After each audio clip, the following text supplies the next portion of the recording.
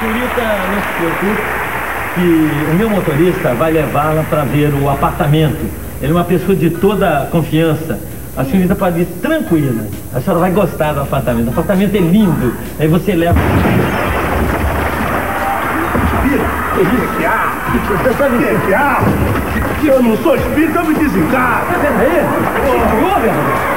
Mas me, me explica direito isso, rapaz. Explica direito o Caçantes. Eu tava do outro lado, passou uma mulher boa e eu mexi com ela. Mulher boa, muito natural. Mas como natural? Natural que é? O marido dela pra tomar satisfação. Eu não sou dar satisfação a malandro nenhum, briguei com ele, muito natural. Como muito natural, tu entrou aqui arrebentando a parede. Aí que o marido dela era uma maquila, muito natural.